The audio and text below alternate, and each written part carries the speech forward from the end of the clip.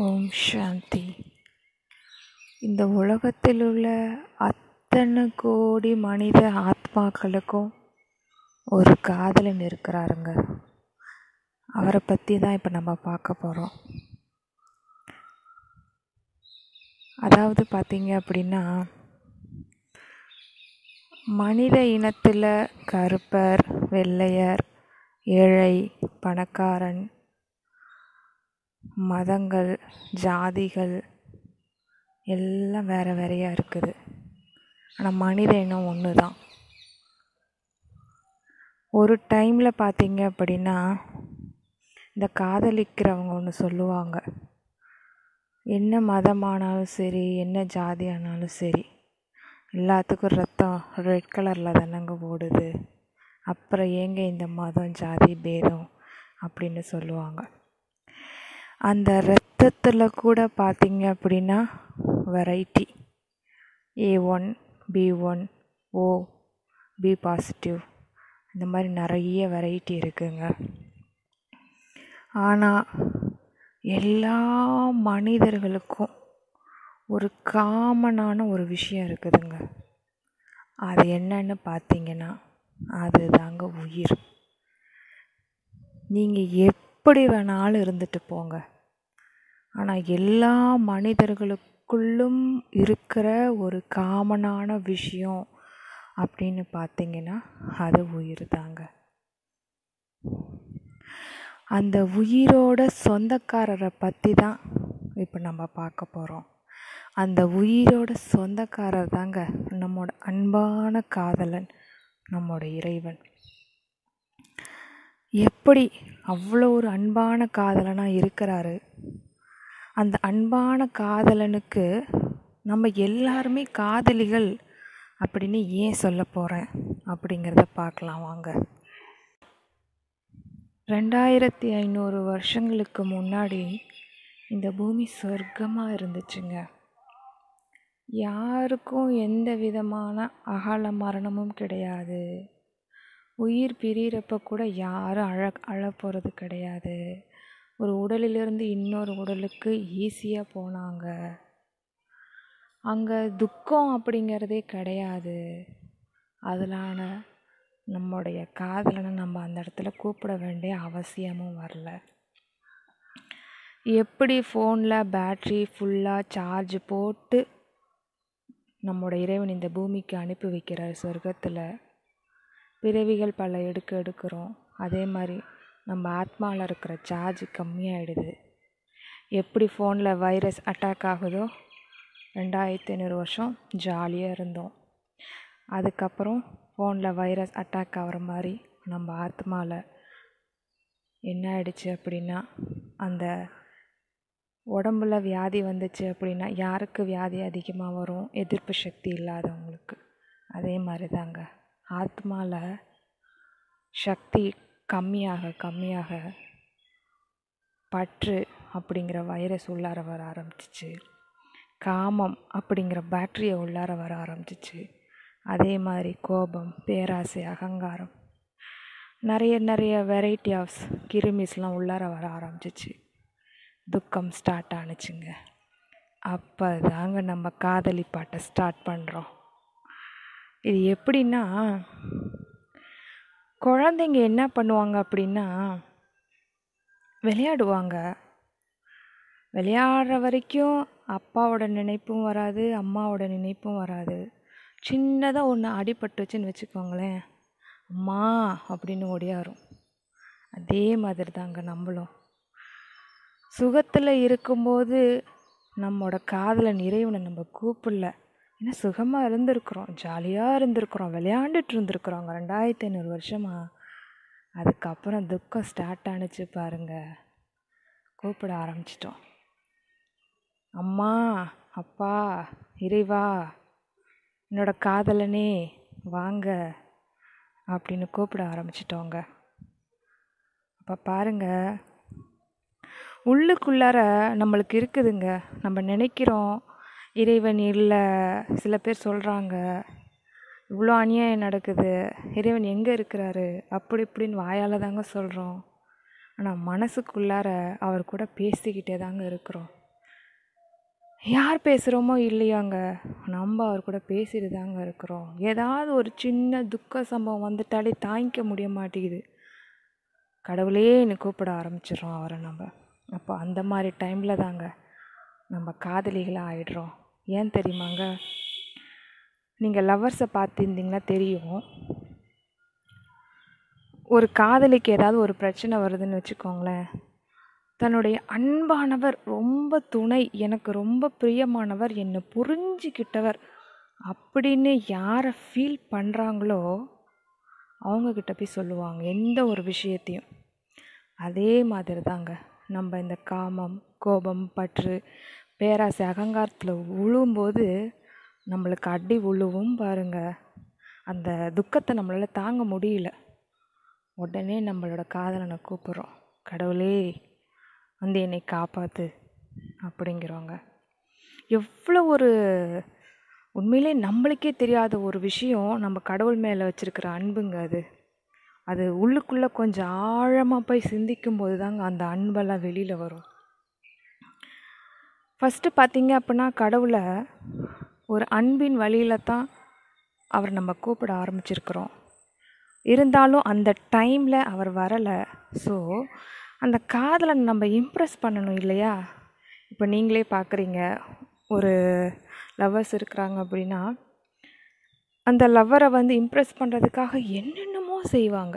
ஏன்னா அந்த காதலனோட அன்பை அடையணும் அந்த காதலியோட அன்பை அடையணும் அப்படிங்கிறதுக்காக. அதே மாதிரி தாங்க அந்த மாதிரி காதலிகளாகிய நம்ம ஸ்டார்ட் பண்ணது தாங்க பக்தி. நீங்கள் ஒரு சில லவ்வர்ஸை பார்த்துருக்கீங்களா? காதலனுக்காக என்ன வேணாலும் பண்ணுவாங்க. சாப்பிடாம இருப்பாங்க கையை வெட்டிப்பாங்க. உண்மையில் அந்த காதலனுக்கு இது பிடிக்குதா பிடிக்கலான்னு தெரியாது. இருந்தாலும் அவங்கள இம்ப்ரெஸ் பண்ணணும் அதுக்காக. அதே மாதிரி தாங்க காதலிகளாகிய நம்ம இம்ப்ரெஸ் பண்ணுறதுக்கு ஸ்டார்ட் பண்ணுறது தான் பக்தி. கடவுளே நான் உன்னை அடையணும். காதலனே நான் உன்னை அடையணும். அதுக்கு நான் என்ன பண்ணுறதுன்னு எனக்கு தெரியல. அப்படியே ஆரம்பிச்சது தாங்க இந்த விரதம் இருக்கிறது எல்லாமே. இப்போ நிறைய கோயில்கள் நடத்துகிற இந்த கும்பாபிஷேகம் பால் அபிஷேகம் அன்னாபிஷேகம் நம்ம இந்த கோயிலில் பார்த்தீங்க அப்படின்னா நெருப்பில் நடக்கிறது நாக்கில் வேல் குத்திக்கிறது எல்லாமே பார்த்தீங்க அப்படின்னா அவர் அடையணும். அவரின் மூலமாக நம்ம சுகத்தை அடையணும் அப்படிங்கிறதுக்காக அவர் மேல் இருக்கிற அன்பின் காரணமாக இதெல்லாம் செஞ்சது தான் பக்தி. கடவுள் பார்க்குறாரு. உண்மையிலே அதை செய்ய சொல்லியிருப்பாரு. நீங்கள் நினைக்கிறீங்களா? கண்டிப்பாக இல்லைங்க. நல்லா யோசிச்சு பாருங்க. நம்ம குழந்தைங்க அதாவது தாய்மார்கள் தந்தைமார்களுக்கு இது புரியும். நம்மளுக்கு ஒரு குழந்தை இருந்துச்சு அப்படின்னா எப்படி ஈஸியாக அந்த குழந்தைய முன்னுக்கு வர வைக்கலாம்? அப்படிங்கிறத தான் யோசிப்போமே தவிர அந்த குழந்தைய கஷ்டப்படுத்தி அன்பை வெளியில் கொண்டு வரணும் எந்த தாயும் தந்தையும் நினைக்க மாட்டாங்க. அந்த குழந்த வருத்தப்படுறத அவங்க பார்க்கக்கூட விரும்ப மாட்டாங்க. இப்போ பாருங்கள் நம்ம பக்தியில் என்னென்னமோ செய்கிறோம் ஆனாலும் கடவுள் பார்த்துட்டு தான் இருக்கிறாரு. என் குழந்தை இப்படிலாம் பண்ணுதே? உண்மையிலே அவர் அதையும் பண்ண சொல்லலை. இருந்தாலும் நம்மளுக்கு வர வழி தெரியல அவரை இம்ப்ரெஸ் பண்ணுறதுக்கு அதனால் இந்த மாதிரி வேலையெல்லாம் செய்கிறோம் ஆனாலும் அவர் பார்க்குறாரு. பார்த்துட்டு சரி என் குழந்தைக்கு நான் இந்த மாதிரி செய்ய சொல்லலை. இருந்தாலும் அது என் மேலே அன்பாக இருக்குது. இல்லைங்களா? அந்த அன்பின் காரணமாகத்தாங்க நம்மளுக்கு இந்த கனவுல வர காட்சிகள் இறைவன் காட்டுற காட்சிகள் அதாவது பார்த்திங்கன்னா சில பேர் சில பேர் முருகன் பக்தியில் இருப்பாங்க. முருகனாக வர்றது மாரியம்மனாக வர்றது இயேசுவை நினச்சிட்டு இருந்தாங்கன்னா இயேசு வர்றது மாதாவை நினச்சிட்டு இருந்தாங்கன்னா மாதா வர்றது. இந்த மாதிரி விஷயங்கள்லாம் பார்த்திங்கன்னா அந்த ஒரு இறைவன் தான் உங்களுக்கு இந்த மாதிரியான காட்சிகளை கொடுத்து உங்களுக்கு குஷிப்படுத்துகிறாருங்க எவ்வளோ சூப்பரான காதலன்னு பார்த்தீங்களா? அப்போ பாருங்கள் நம்மளுக்கு கனவுல வர்ற விஷயங்கள் எல்லாமே இறைவன் தான் கொடுக்குறாரான்னு சொல்ல முடியாது. ஏன்னா ஒரு சில கெட்ட ஆத்மாக்களும் இருக்குது. அதுவும் கொடுக்கும். நம்மளால் ஐடென்டிஃபை பண்ண முடியும். இது கடவுள் கொடுக்குற காட்சி தானா? இல்லை வேறு யாராவது கொடுக்குற காட்சி தானா? அப்படின்ட்டு. இன்னொரு விஷயம் கூட பாருங்கள் நம்மளுடைய யாராவது நம்மளுடைய தாய் தந்தை இறந்துருப்பாங்க. அவங்க மேலே ரொம்ப அன்பு இருக்கும். அவங்க கூட திடீர்னு கனவுல வருவாங்க. கனவுல வந்து நம்மளை குஷிப்படுத்துவாங்க. ஏன்னா நம்ம தாய் தந்தை மேலே நம்ம அன்பு வச்சுருக்குறோம். ஆனால் அவங்கள விட நம்மளோட காதலன் இறைவன் நம்ம மேலே வச்சுருக்குறாங்க. அவங்கள காட்டி நம்மளை குஷிப்படுத்துகிறாருங்க புரியுதுங்களா? எவ்வளோ ஒரு அன்பு பாருங்க நம்ம மேலே. அதாவது நம்ம ஒரு தப்பு பண்ணிட்டோன்னு வச்சுக்கோங்களேன். இதே நம்ம காதலன்கிட்டேயோ நம்ம ஹஸ்பண்ட்கிட்டேயோ சொல்கிறதுக்கு கூட பயப்படுவோம் நம்ம. இல்லைங்களா? சொன்னால் என்ன ஆகும்? அடுத்த நிமிஷம் பிரச்சனை வெடிக்கும். ஆனால் நம்மளோட அன்பான காதலன் பாருங்கள் நம்ம எதாவது தப்பு பண்ணிட்டோன்னா அவர்கிட்ட போய் சொல்லி பாருங்களேன். மனசு அப்படியே ரிலாக்ஸ் ஆகிடும் ஏங்க இதே உங்களோட காதலன்கிட்ட ஹஸ்பண்ட்கிட்ட சொல்லும்போது பிரச்சனை வெடிக்குது. ஏன் நம்மளோட இறைவன்கிட்ட சொல்லும்போது மனசு ரிலாக்ஸ் ஆகுது? உண்மையிலே நம்முடைய ஆத்மாவா ஆத்மாவுக்கு உண்மையான காதலன் அவர் தாங்க நம்மளுக்கு. இன்னொரு விஷயம் கூட சொல்கிறேன் அதாவது நம்ம கடவுளை அதாவது ஒரு சில பிரச்சனைகள் நம்மளுக்கு வரும். அதை சரி பண்ணிட்டா நம்ம நினச்சது நடந்துருச்சு அப்படின்னா கடவுளை போட்டுருவோம். அப்படி நடக்கலைன்னு வச்சுக்கோங்களேன். கடவுளை பிடிச்சி கண்ணா அப்படின்னானு திட்டுவோம். அது கூட ஒரு அன்பு தாங்க எனக்கு தெரிஞ்சு. ஏன்னா நம்மளுக்கு மேலே இருக்கிறவங்கள நம்மளால் திட்டவே முடியாதுங்க. அவங்க சொல்கிறத பணிஞ்சு கேட்டுட்டு நடப்போம். இல்லை நம்மளோட அப்பா அம்மா இருக்காங்க அப்படின்னா அவங்களையும் நம்மளால் திட்ட முடியும். ஏன் இப்படி செஞ்ச? எதுக்கு இப்படி செஞ்ச? அப்படின்னு சொல்ல முடியாது. நம்மளோட உயர் பதவியில் இருக்கவங்க தப்பே பண்ணாலும் கூட நம்மளால் எதிர்த்து கேட்க முடியாது. நம்ம பணியும் இடத்துல இருக்கிறோம். ஆனால் பாருங்கள் கடவுள் எவ்வளவு உயர்ந்தவர். அவர்கிட்ட போய் நம்ம சண்டை போடுறோம் அப்படின்னா அவருக்கும் நம்மளுக்குள்ள நெருக்கத்தை பாருங்கள் என்ன மாதிரியான நெருக்கம் அவருக்கும் நம்மளுக்குள்ளே இருந்துச்சு அப்படின்னா போய் சண்டை போடும் அவர்கிட்ட. எவ்வளோ உயர்ந்தவர். இந்த உலகத்தில் உள்ள அத்தனை பேரை உயர்ந்தவர். ஆனால் உங்களுக்கு நெருக்கமானவர்.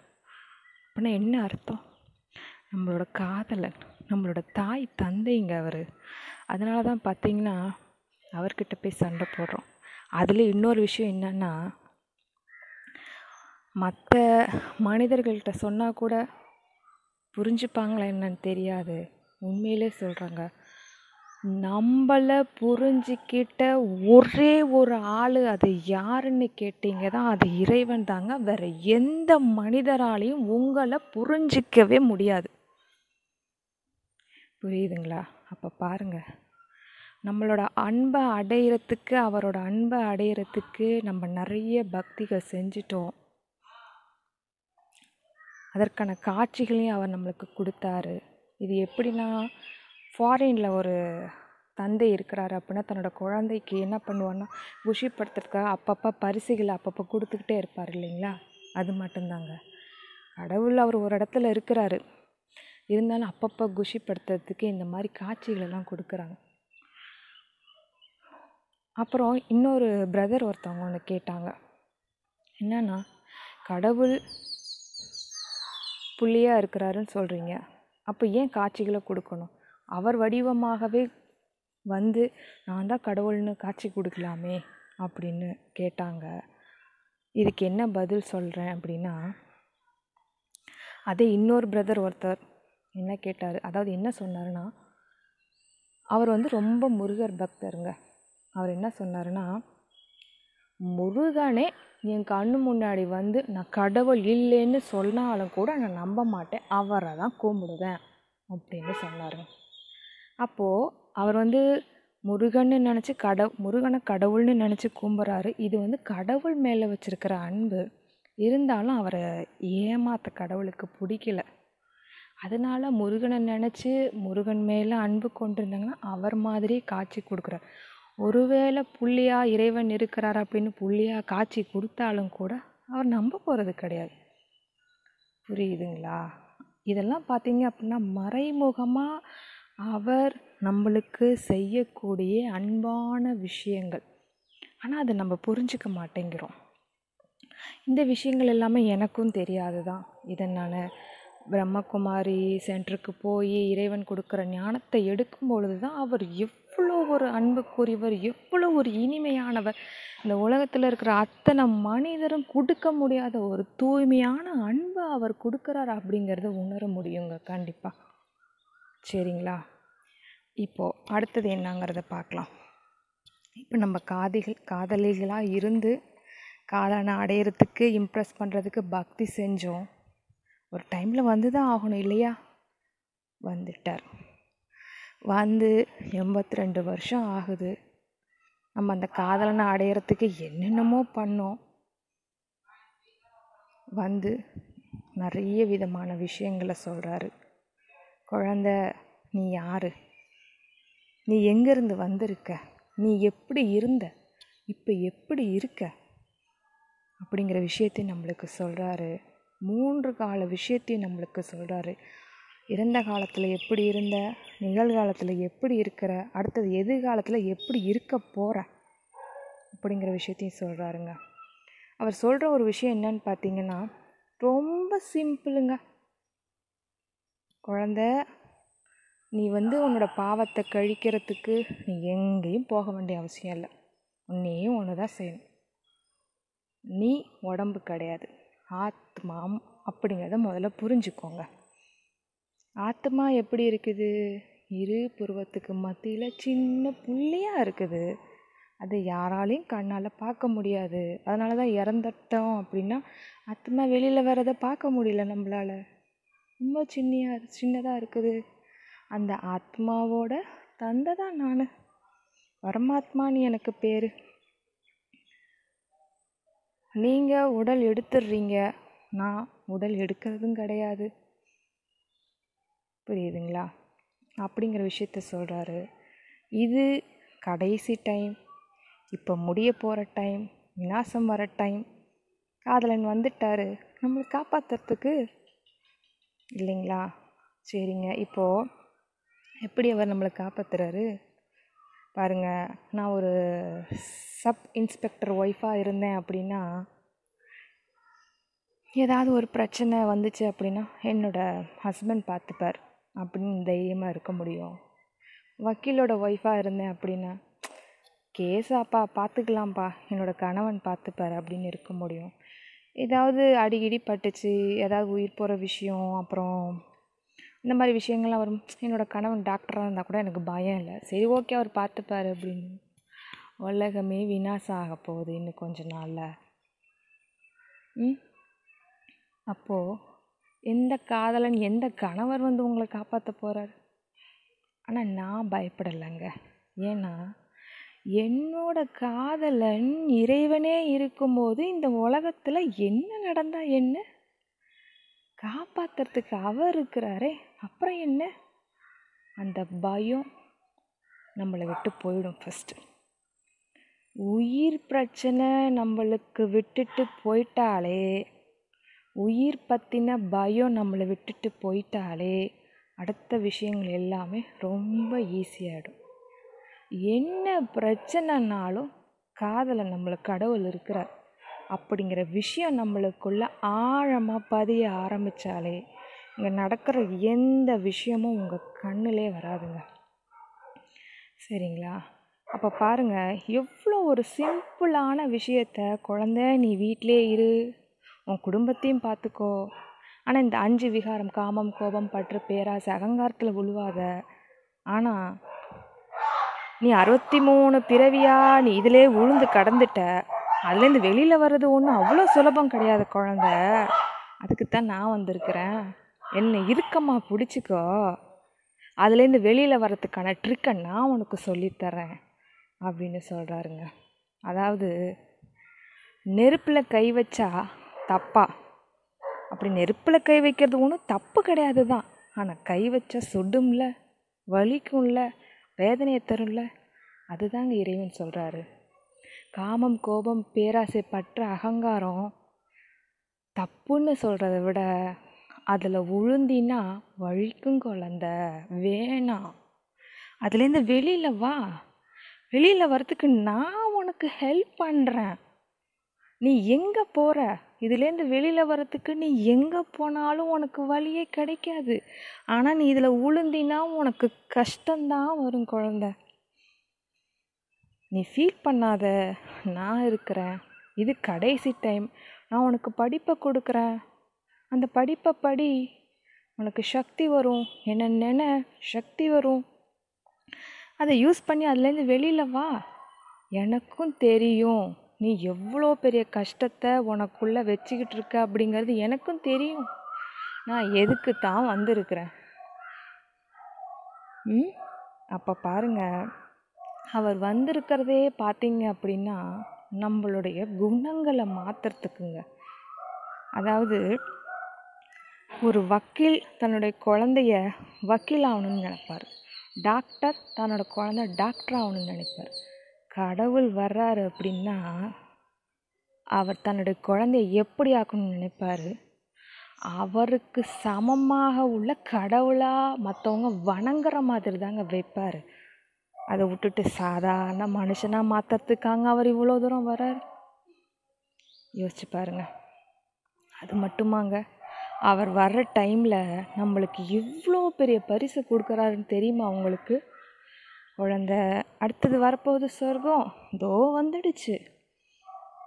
இருபத்தோரு பிறவிக்கு உனக்கு எந்த பஞ்சமும் கிடையாது எந்த கஷ்டமும் கிடையாது எந்த துக்கமும் கிடையாது. ஜாலியாக நீ இருக்கலாம். இந்த மாதிரியான ஒரு லைஃப்பை எந்த காதலனாவது கொடுப்பானாங்க. ஒரு நாளைக்கு நம்ம காதலன் ஒழுங்காக வச்சுருக்கிறதே பெரிய விஷயம். தினம் தினம் தினம் தினம் அவரோட அன்பில் மூழ்க மூழ்க மூழ்க என்ன மாதிரியான ஒரு சந்தோஷம் என்ன மாதிரியான ஒரு குஷி? எதிர்காலத்தை பற்றின பயமே இருக்காதுங்க நம்மளுக்கு. கடவுளே நம்ம பக்கத்தில் இருக்கும்போது நம்ம ஏங்க எதிர்காலத்தை பற்றி யோசிக்கணும்? அவர் பார்த்துப்பார். புரியுதுங்களா? ஆனால் இதில் முக்கியமான ஒரு விஷயம் என்னன்னு பார்த்தீங்கன்னா இறைவன் சொல்கிற வழி எதுவாக இருக்குது அப்படிங்கிறத நம்ம முதல்ல ஃபஸ்ட்டு நம்ம முதல்ல புரிஞ்சுக்கணும். போய் பக்தி செய்கிறோம் அந்த பாட்டு முடிஞ்சிடுச்சு. இப்போ லவ் பண்ண வேண்டிய டைமுங்க லவ் பண்ணுங்க கடவுளை. இப்போ லவ் பண்ணாமல் நீங்கள் எப்போ லவ் பண்ண போகிறீங்க ம்? நம்ம பேரண்ட்ஸ்லாம் சொல்லுவாங்க என்ன சொல்லுவாங்கன்னா டேய் நீ ஒழுங்காக படி. இது படிக்க வேண்டிய டைம் இப்போ நீ ஒழுங்காக படிக்கலைன்னா உன் வாழ்க்கையே பின்னாடி வீணாக போயிடும். அதே மாதிரி தாங்க லவ் பண்ண வேண்டிய டைம்ங்க இது கடவுள். துரத்தி துரத்தி இத்தனை நாள் நம்ம லவ் பண்ணோம். இப்போ அவரே நம்மளை லவ் பண்ண வந்திருக்காருங்க. நீங்கள் ஏங்க மிஸ் பண்ணிட்டு பேரதுக்கு பின்னாடி ஓடிட்டுருக்குறீங்க லவ் பண்ணுங்க கடவுளை. அது மட்டும் இல்லாமல் அவர் கொடுக்குற பாடத்தை நீங்கள் எடுங்க. இந்த பாடம் அதாவது பாடம் அவர் கற்பிக்கிற பாடத்தை எடுக்கிற டைமில் வேறு எங்கேயாவது உங்களுக்கு புத்தி மாட்டுனுச்சு அவ்வளோதான் நம்ம லைஃப் வீணாக போயிடும்.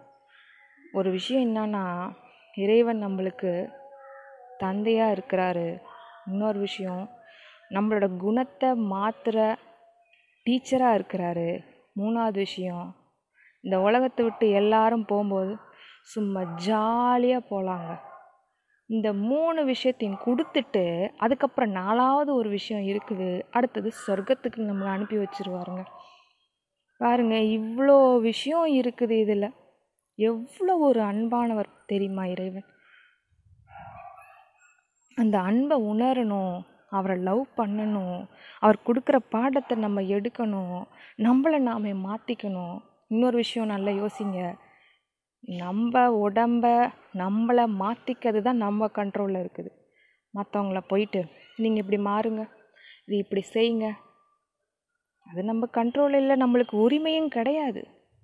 நம்மளை நாமே மாற்றிக்கணும் அதுக்கு இறைவன் ஹெல்ப் பண்ணுறாரு கண்டிப்பாங்க. நீங்கள் கண்டிப்பாக பிரம்ம அருகில் இருக்கும் பிரம்மகுமாரி நிலையத்துக்கு போங்க.